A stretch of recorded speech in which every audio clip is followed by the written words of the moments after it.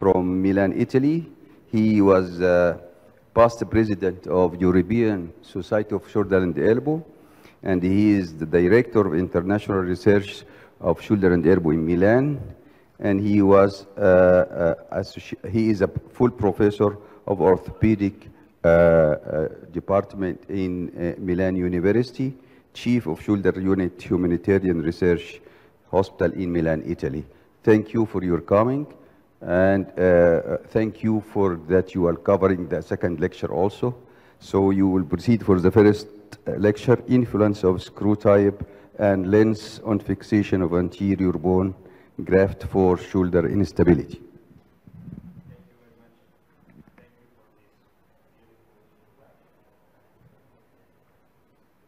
Okay, thank you very much for this beautiful introduction and thank you for the invitation. I feel very honored and delighted to be here to represent the Italian community. You know what is happening in Italy now, but not only there. But anyways, I was brave enough to come over and say hello to my friends here. And I hope it is written properly. Yeah? yeah I wish everyone to have the best meeting ever.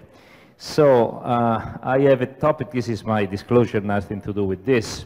It is the influence of the screw type and length of fix fixation of anterior bone grafts.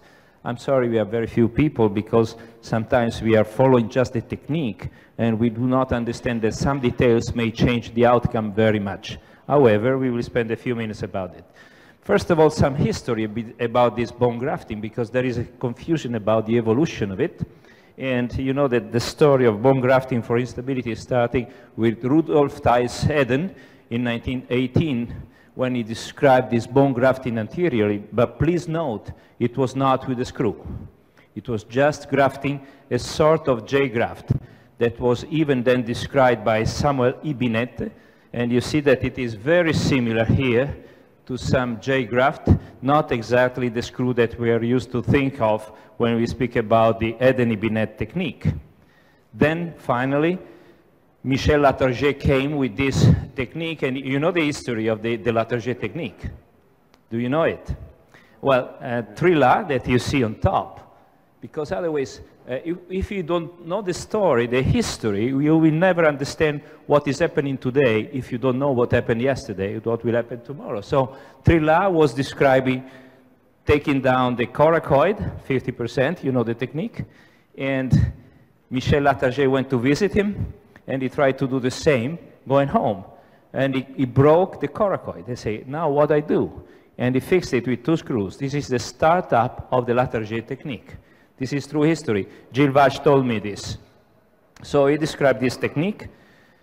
And a few years later, Helfet, a South African guy, described this repair that he dedicated to Walter Rowley Bristow, but the describer was Helfet, but again, it is not the, health, uh, the Bristow latter, uh, excuse me, the Bristow technique that you know, because it was just a little cleft in the subscap where you were reattaching the subscap. It was not the way we describe it now. So this was the origin. Only in 1970, May added a screw uh, mimicking what was the, the Latarjet technique. This is the true history.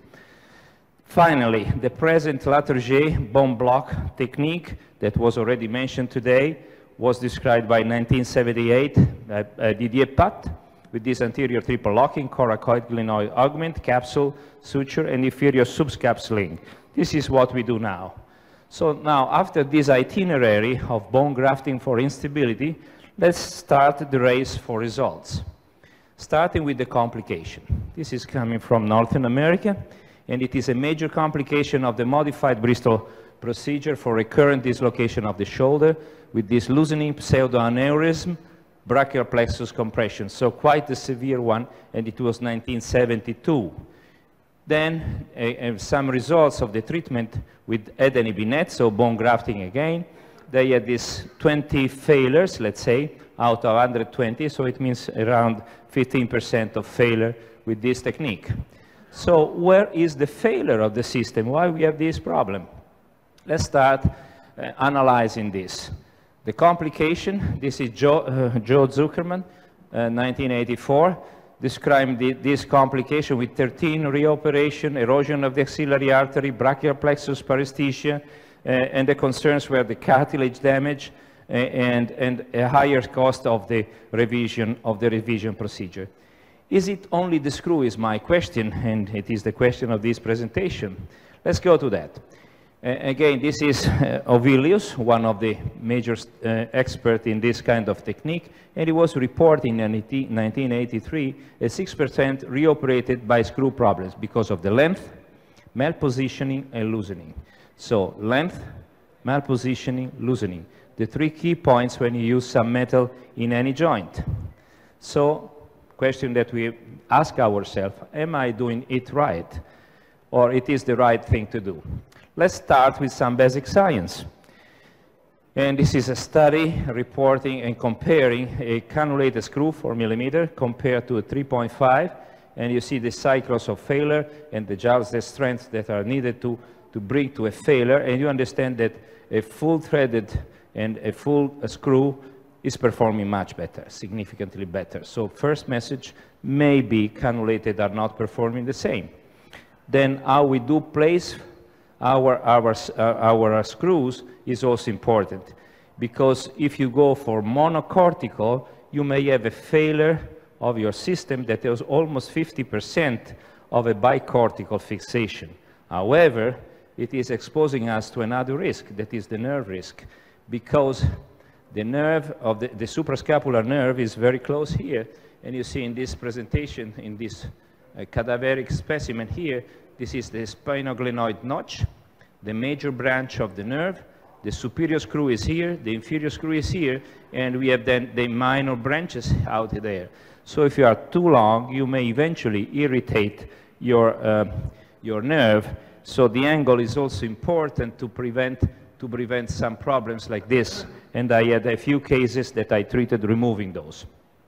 This is the last, uh, largest review, and the review papers were mentioned earlier this morning. They are very important to understand things, and these are the complications reported by Michael Griesser, and he described the, the removal of the hardware in a quite significant amount of cases, 46 in the entire series. And lysis of the coracoid was also common, 3.2%, and non-union was almost 10%. So we have an issue with the process of healing. Then, comparing different kind of screws, bicortical metal are performing much better than absorbable interference screw that we try to use uh, in order to reduce the invasion of it. Then how do we place our bone graft? We can place it in a, a classic system, like I personally do, but for a certain period now, it is almost gone, there was the so-called congruent uh. It was just putting uh, 90 degrees rotated, and this is the way. Theoretically better because of the shape that is the same shape of the glenoid. And so you may have less of friction with the humeral head. However, the strength and the resorption in this congruent arc Latarjet is performing poorer than the classic one. This is a comparison of different screws, this study in arthroscopy 2017, uh, partial threaded, solid, 4 millimeters, fully threaded, 3.4, partially threaded, blah, blah, blah, blah. And what the authors reported, there are no major differences in the um, fixation of the graft itself. And this is my study that I did uh, as a biomechanical study using three different possible configuration I used a partially threaded anchor, uh, excuse me, screw, a 3.5, 3.5 fully threaded, and all, a completely metallic anchor with no, not threaded, solid one. Uh, and I compared the displacement that is in the vertical bar and the load that is needed for that. And you can easily understand that if you go bicortical, bicortical, everything is performing well. If you go with one screw, unicortical and bicortical, you clearly understand that the solid screw and, and this fully threaded screw are performing better. Finally, if you go unicortical, unicortical, you see again here that the fully, uh, the, the solid screw and the fully threaded are performing better, while the non-fully threaded and and, sorry, and yes, and cannulated are performing poorly. So choosing the proper screw is playing a role in the solid repair that you do. So the design here, this is another study in arthroscopy, very recent, that I checked in the literature just before leaving to come here. They were comparing this possible augmentation like top hat or wedged profile plates, and eventually, biomechanically spe uh, speaking, this may help. Then the next step, so the screw may affect the way we place it and the, cho uh, the choice that we make for it. Then understanding the bone healing is also important. And from the medical school, we should remember the cutting cones. Cutting cones are basic to, to achieve a stability and firm contact to the bone to bone is helping to create these cones that are leading to the healing of the bone. So if you don't have a good compression, you may, may not be very happy.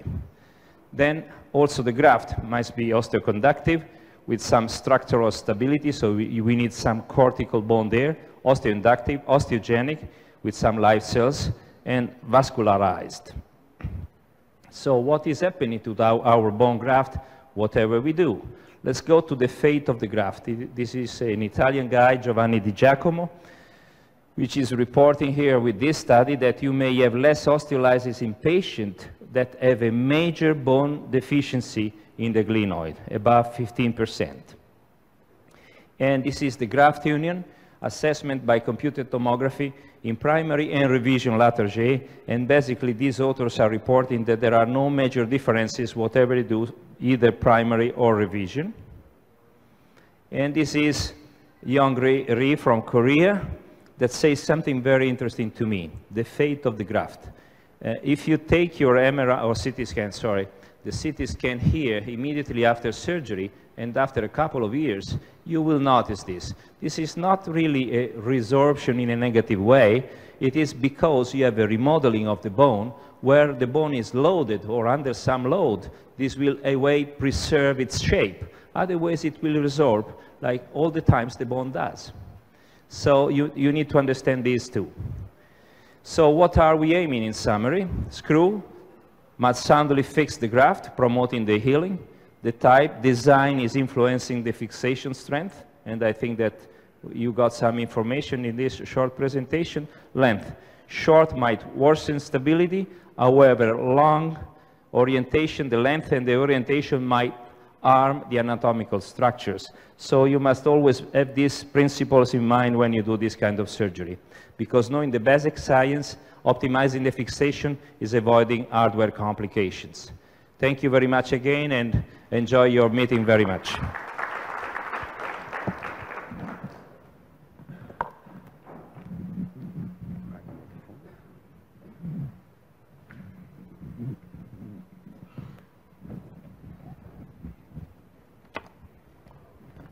The, the second uh, talk by Professor Peter Tonino from States he is a professor of orthopedic surgery and sport medicine program. And also he is the chairman of the International Committee and directors of ANA. Uh, his talk will be about the Latarjet versus arthroscopic labral surgery. Please, sir. Thank you. Uh, so I kind of want to defend the American uh, orthopedic surgeon because we do not perform a lot of a lot of Latarjet surgery. So it's a little bit of an arm wrestle. My disclosures. So my experience with shoulder instability, I'm pretty old. Uh, I started um, my orthopedic residency in 1981. So I did uh, what we talked about. Uh, Alex just talked about open treatment of shoulder instability with a Bristow procedure. So I'm not afraid of open shoulder surgery. And then in 1986, 1987, I worked with Dr. Jobe in California. And we started operating by diagnostic arthroscopy, but then open shoulder stabilization. Then, uh, since 1987, I've been at Loyola University in Chicago. So at the beginning, I was continuing the quick arthroscopy, then the open Bankart. But then with time, I transitioned to arthroscopic treatment of shoulder instability, which is what I do now. So why did I change? Because it's always described the Bankart, open Bankart was the gold standard of shoulder stabilization, at least in the United States. Well, people don't like big incisions. Um, with the deltoid uh, t- uh, pectoral approach, you have to maybe, you can possibly damage the deltoid a little bit when you spread the deltoid, and the conjoint tendon, when you pull it off to the side, can cause perhaps some injury to the musculocutaneous nerve or direct injury to the nerve. The subscapularis, you need to either release it, which can then tear if it doesn't heal after surgery. With Dr. Jobe, we split the subscapularis, so less detachment, uh, but some injury to the subscapularis when you manipulated the subscapularis and separated the muscle. And this was shown by Marcus Scheibel, Scheibel and uh, Peter Habermeyer about damage to the subscapularis that uh, can occur just by manipulating whether you split it or partially detach it during open surgery.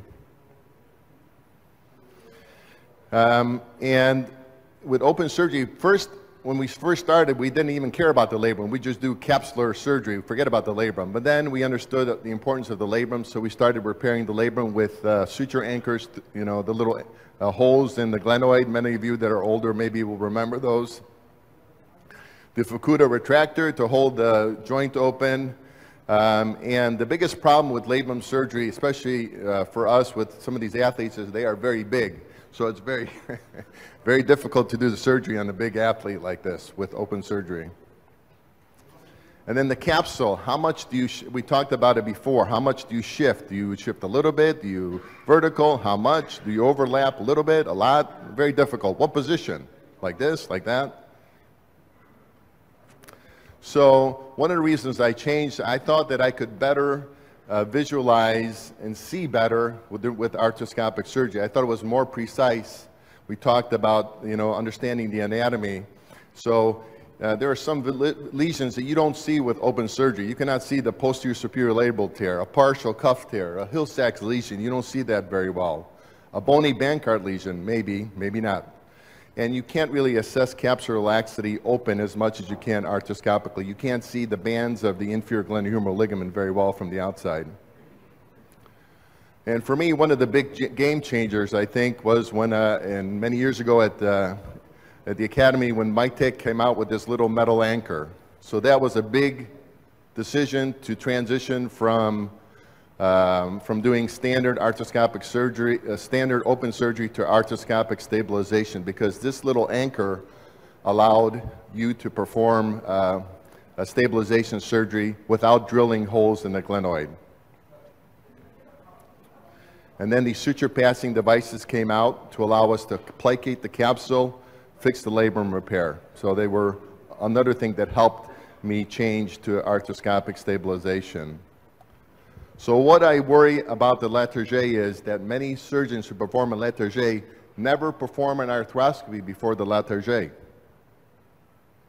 So I think maybe the Latarjet surgeons don't care about the capsule and the labrum.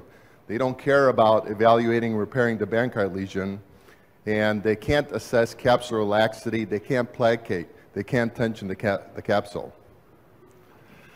The Latarjet surgeons, they answer, I do feel very bad about the labrum and the capsule, but don't you care about bone loss? So the frequency of bone loss after shoulder dislocation, multiple studies, most of them don't have, with simple dislocations, that much of a bone loss. The number of people who have major bone loss from a simple dislocation is not that often, but with recurrent instability, definitely you can see more bone loss patients. But for simple shoulder instability episodes, dislocations, not as much bone loss as you would anticipate. How we measure bone loss, I don't think we know exactly. This is another paper recently. Everybody has a different way of measuring bone loss, so that means that maybe we don't have one good method. And uh, critical bone loss is shrinking. This is from this morning, where you look at 20%, 15 to 20%, more than 15%. So our, our decision for bone loss, it's becoming smaller and smaller. And we know from uh, Dr. Castagna just said, if you do bony procedures when they don't have much bone loss, more chance that, that uh, uh, the bone will uh, atrophy or, or uh, not heal. Um, sometimes uh, there's good news, though, with arthroscopic surgery that we can find the bone loss with an arthroscopic procedure because we can find the bone fragment that's contributing to the bone loss. And if you look um, in somebody like this, for example, uh, you have to look for the bone loss. You can see the fragment if you get a CT scan, and I think if you're looking for bone loss, you're probably getting a digital uh, CT scan to look for the fragment, see if the fragment and then you can mobilize it. Even if it's displaced medially on the glenoid neck, you can mobilize it, bring it up, and repair so you can restore the anatomy of the glenoid. So you can bring the, the bony fragment back up and no need for Latarjet. I think uh, several studies have showed that there is danger with the Latarjet. Uh, if you do neuromonitoring of the axillary muscutaneous nerve, like uh, Dr. Castagna just talked about, is not infrequent if you do assessment of what's happening with the nerve during surgery.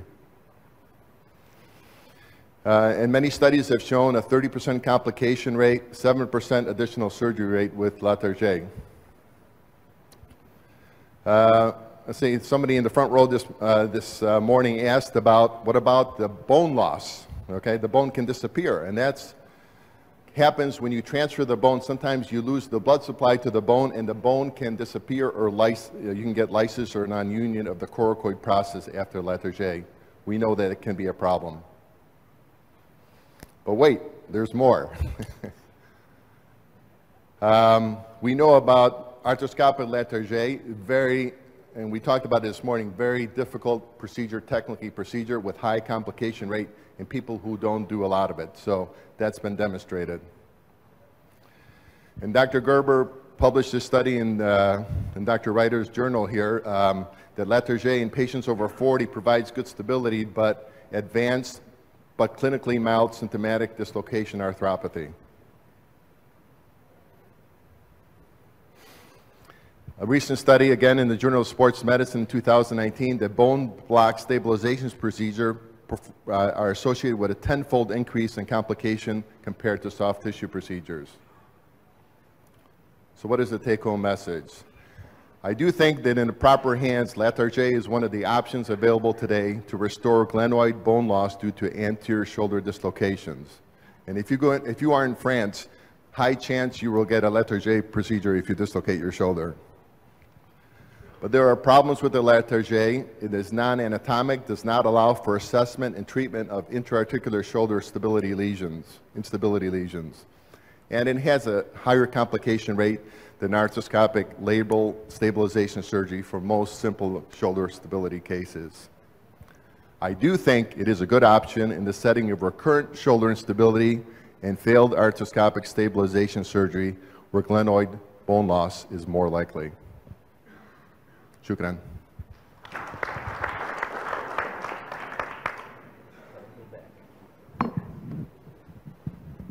Now we go back for Italy, and uh, Dr. Castagna is representative of the Italian Society to us, and he will talk about shoulder instability arthroscopic revision surgery.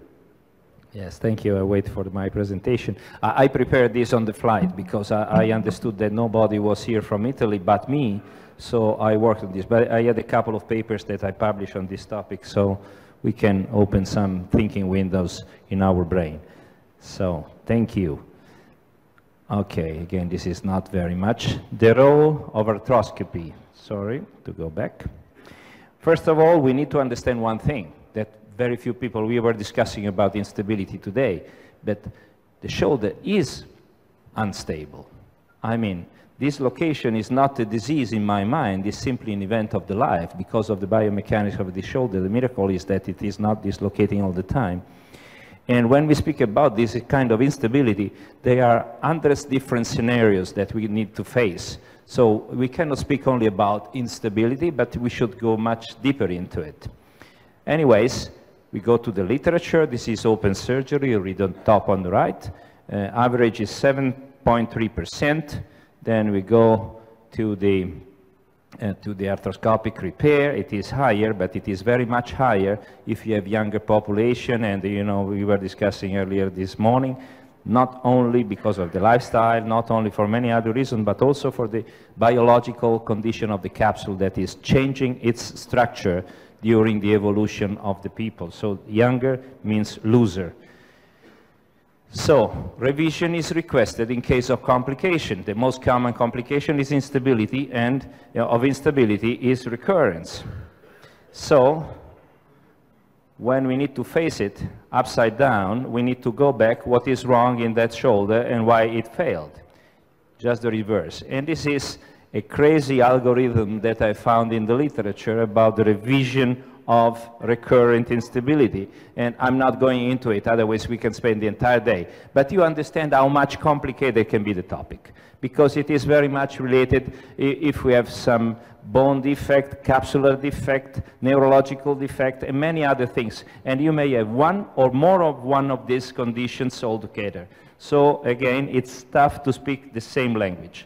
Anyways, when we speak about this glenohumeral instability revision, we think about failure. But other, other speaker earlier this morning were saying that failure is not only recurrence, because failure can be a symptomatic subluxation. This is a failure because the patient is asking us not to have any pain, any symptom in the shoulder, or is a limited range of motion. I am an old man, so I remember the Putti-Platt procedure uh, when I was a young student, we were treating instability with stiffness. That is not treating instability. So again, these are failures to me, at least, not only recurrence.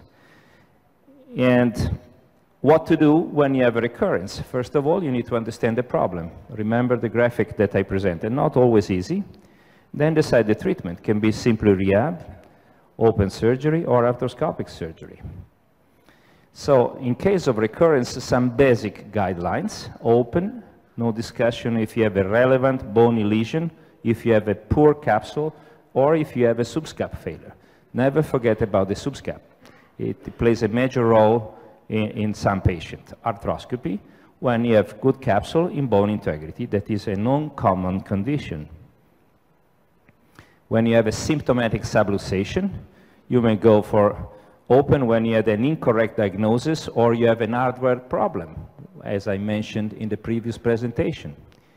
Or arthroscopy when you have a diagnostic treatment of mispathology or a correction of an inadequate repair. Limited range of motion, open subscap shortening, severe capsular shortening, or hardware problem, arthroscopy, you can make a nice lysis of the intraarticular subacromial adhesions and uh, restore the range of motion with an oriented capsule release. Then I did a paper almost 10 years ago, nine years ago, to evaluate in a personal cohort if arthroscopic revision of recurrent instability after arthroscopic stabilization is a reasonable option. These are the patients, not many of course, but with a reasonable follow-up and these are the results. You see that I had a recurrence rate in 36% of the cases. So you can draw your conclusion. It is not something that you can rely on very much. Then I did another study, same, same period. And I wanted to see if there is a role of arthroscopy in the revision of the failed Latarjet procedure. And I analyzed some cases that I faced not only for this location, but some, not many, but some Latarjets, they are a little painful, discomfort of the patient. They do not redislocate, so theoretically you have good results. But if you speak with the patient, they have discomfort. And so I analyze these cases. These are 17 uh, subjects with 18 shoulders. Again, the follow-up is acceptable again in order to evaluate this. These are the data that I analyzed in this, in this study, age of the first, blah, blah, blah, blah. You can read it easily, but in, in, in, in the interest of time, I'm not spending too much into it because at the end, uh, uh, we, we, evaluated the, our outcome according to the Rowe score that were excellent in uh, two-thirds of the cases with a mean value than 75. Two-thirds can be good or bad depending, depending the way you want to see it. But after arthroscopic revision, we had uh, another surgery in 16.7% of the cases. So with this return to sport activity, two-thirds, dislocation for mild trauma 6%, and subluxation or sprains 11%. So overall, failure of this revision to me was 16.7. And let's go to the literature about this because very few people, they bring bad, bad results, but I like to analyze my bad results much better than the good ones.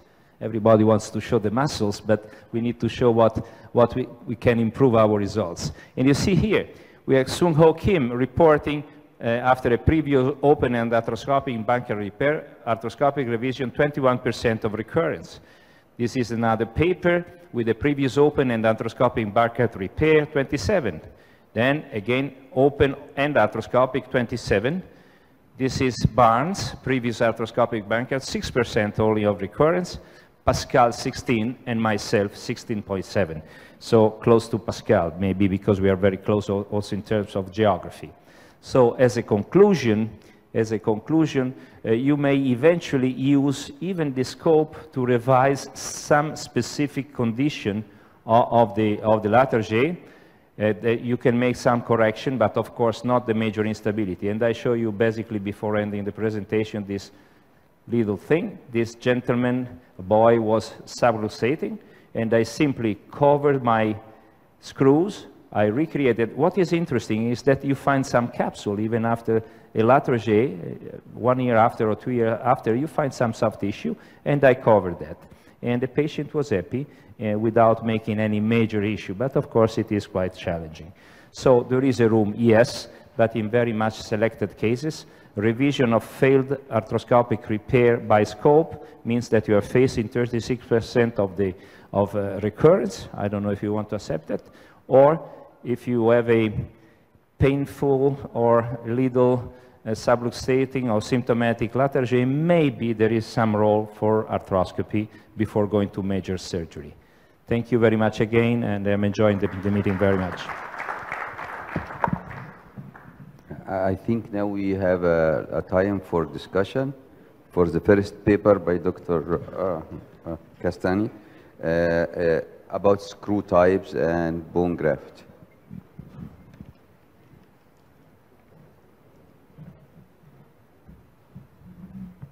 Okay, so can I ask? No.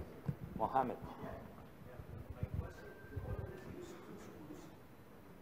Answer, uh, well, the question is, did you always, do you always use two screws? Answer is no. And I explain you.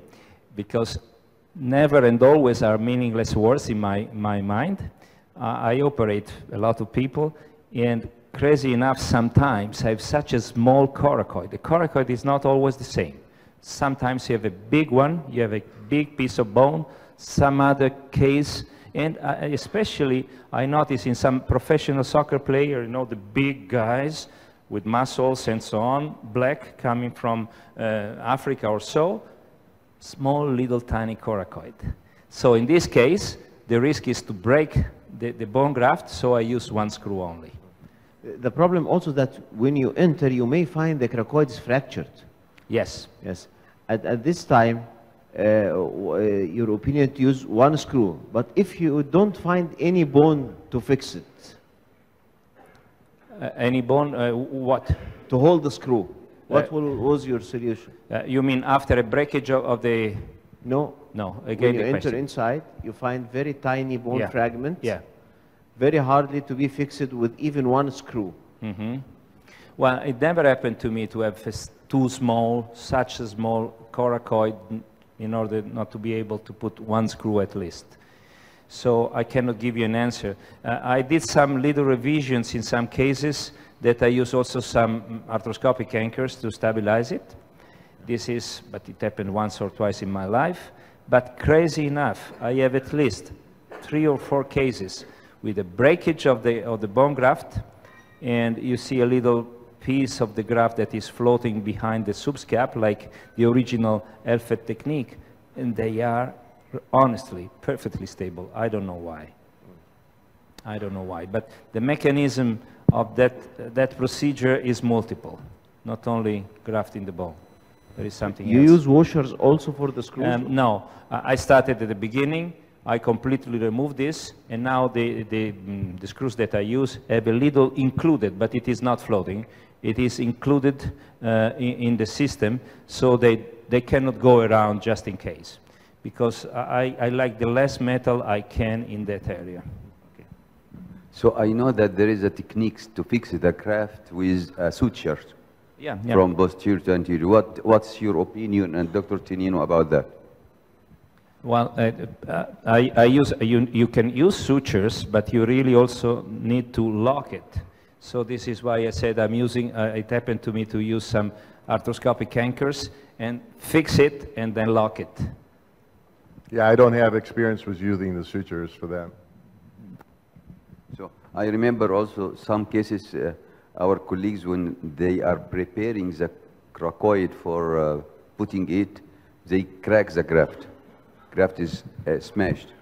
So I advise them to just wrap it with uh, Ethibond or uh, whatever fiber wire and transosseous like uh, Craig Morgan, and they, they, find, they go on and Instead of transosseous, you can Yeah. use anchors, and, and if, at the end it is the same stuff. A- Any other question for the first lecture? For Dr. Tonino about uh, uh, uh, Latarjet or labral repair.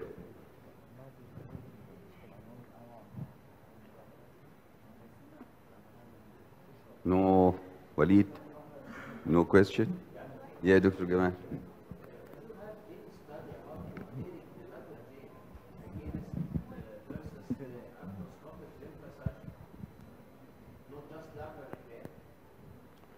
I don't know that there's a study, uh, you're talking about remplissage versus Latarjet? I don't know. You have experience with that, Alex? I, I, there are no direct comparison, uh, but remplissage is a little bit, at least in Europe, declining somehow because some pain is described, you know, for the posterior. It is a more than a, it is a capsulomyodesis, including the, the muscle instead of uh, simply the, um, the capsule and so on and so on. Yes. So it's slightly, slightly declining. somehow. Yeah, but, but you, you know what raised this subject is the, uh, the new idea of Di Giacomo from Italy also about if you have uh, an off track with less than 20% of glenoid bone loss as a bipolar, then this, these cases, if you do just labral repair, it Yeah. will fail. So Uh, adding remplissage will be benefit.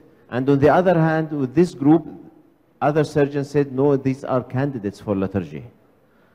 So Yeah. I think till now there is no uh, published uh, uh, studies about uh, this uh, comparing both these techniques. Huh? Yeah, but you know, there are these gray zones where uh, honestly we don't have an answer that is, this is right, this is wrong. It is a gray zone, and again, we started 25%, then 20, now 15, and then we never speak about the capsule, for instance, because after you have erosion, but also histological changes in the capsule and the ligament after many episodes. So you're going to repair not an healthy tissue when you make your capsulorrhaphy, you are repairing a fibrous tissue that is not strong enough, as I demonstrated, at 36% of failure. So there are many other issues than just the biomechanics. It is just an important aspect, of course, but not the only one. Dr. Walid? I have a question, please. You are more in favor with the uh, Bankart repair or arthroscopic repair, even there is uh, bone fragment and we incorporate in the repair. You Yes, You said this. so, yeah. So what is the fate of this bone in the future?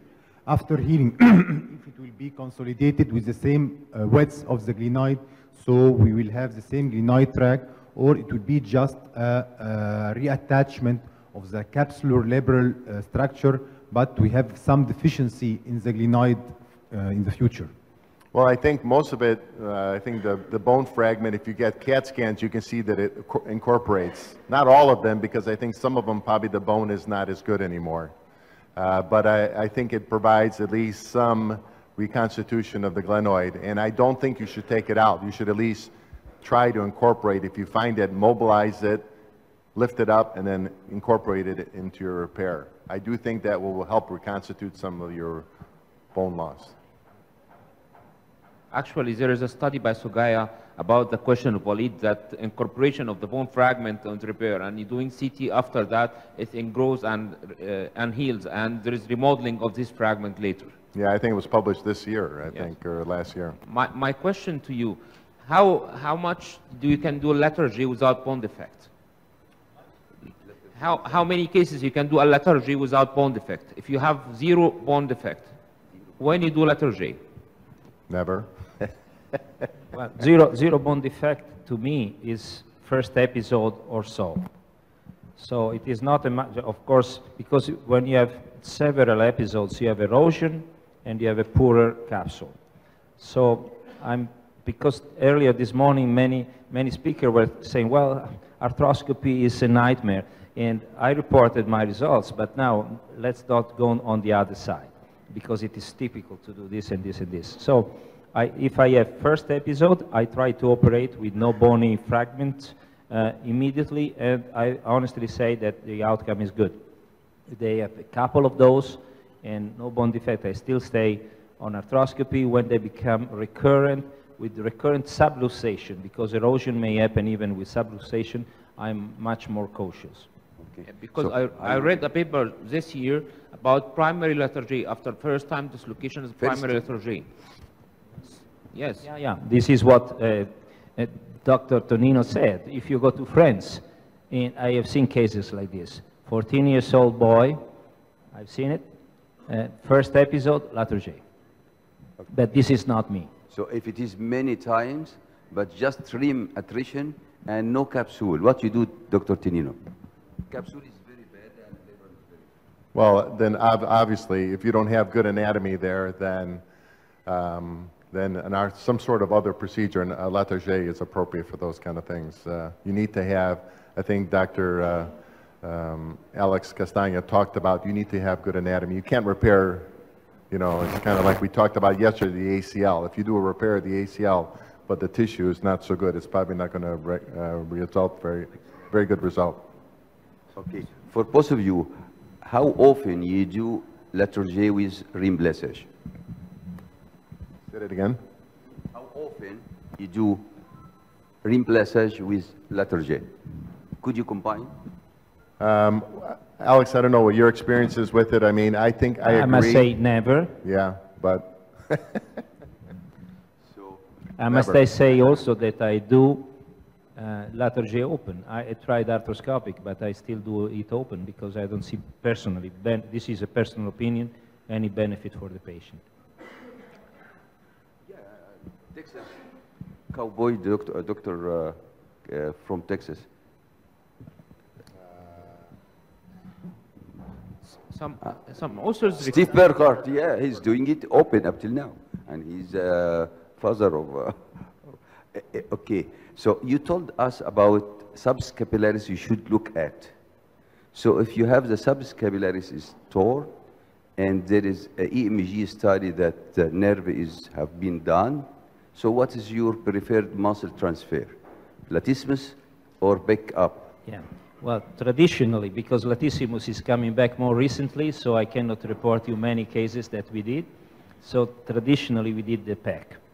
The pec, the pec above, above the conjoint tendon. But now latissimus makes more, more sense, biomechanically speaking. So we are moving into it. That is not that difficult thing. And, um, but these are very uncommon conditions. But anyways, maybe latissimus is becoming the option in the near future. But just a feeling. If you have Hill Sachs and no loss from the glenoid side, did you recommend Latarjet or uh, arthroscopic? If I have Hill Sachs and what? Sachs lesion, head on the head side, Hill Sachs and no bone loss from the glenoid. Would you like to do Latarjet or uh, No. arthroscopy? I mean, um, Hill Sachs lesion with a shoulder dislocation is very frequent. So it really doesn't change unless it's a big, big lesion, that maybe. But if I don't have any What's bone meant on- by big lesion? How, how much? You can't really measure it, so you have, you can look at it, but in general, I expect a Hill Sachs lesion with a shoulder dislocation. It's not an unexpected finding. So if I don't have bone loss in a glenoid, I'm not going to do a procedure, uh, for something that doesn't involve the glenoid. Um, the Hill Sachs lesion is a defect on the humeral head. I'm looking for a defect on the glenoid. That's where I think the Latarjet would be helpful. But I increase the arc of the glenoid and so I combat for Hill Sachs lesion. Wh- When I do uh, the arc is increasing and so the glenoid arc is increasing, and so I will, uh, uh, the, the Hill Sachs lesion will not affect uh, uh, the, the instability. Hmm? I, I change it, I put it on the track. Yeah, I know, but that's a whole different discussion with uh, Dr. Itoi here talking about glenoid track. Um, but I think what he's talking about, we're talking about is the Latarjet is a bone substitute for bone loss on the glenoid. And uh, to do a, a Latarjet for a Hill-Sachs lesion to me doesn't make sense, so. So we make it vice versa. When to do bone graft for the humeral head, Yeah, both of you. Exactly, this was the point, because depending how severe it is, because the answer can be, in the very bad cases, bone grafting. Yeah, I think we tried remplissage just to fill it in, but I'm not too convinced that it's great. I I did in the bad cases I like bone Caesar graft or cases osteochondral graft with bony deficiency in the humerus with Caesar, I grafted, but not every day. I mean, once every other year. I know there is a lot of question, but Dr. Ad, uh, oh, last one, Dr. Mustafa Rafat.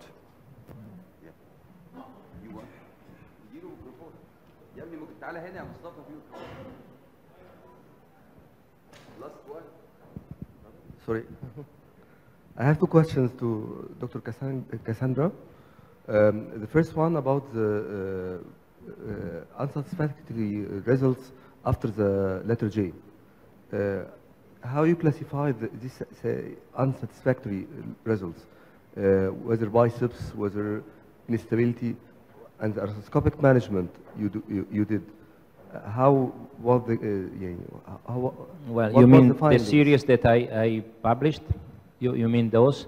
These were symptomatic, subluxating, and with discomfort. Never redislocating, but still significantly symptomatic with discomfort for the patient. Then the scope is the greatest tool you can have just to understand because the noise that is created with imaging due to the metallic uh, screws is confusing you. you uh, I mean, imaging is not helping that much unless you have a clear breakage of, uh, unless you have something that is massive, uh, it's hard to understand. So scoping the patient is helping you very much. And I showed you one of these few cases that I did. Yes. And quite often I found this labral, uh, well, not labral because the labrum is not there, but you know, you can recover, you protect this, you can create some more soft tissue barrier and creating this, and also the biceps was involved in quite a few cases. Yes. I Have know that uh, Dr. Basim want to Have you comment. did, have you did uh, tenodesis for these Okay, cases? so, okay, okay, okay. Have, have you did tenodesis for these cases in case of biceps? Again?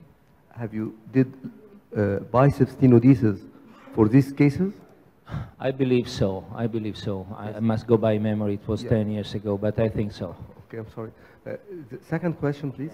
I, I want to uh, uh, ask about uh, what Muhammad Abu Noor said uh, about uh, if you have a first-time dislocator and the Latarjet might be an option for uh, either score, uh, for a high score on the ISA score.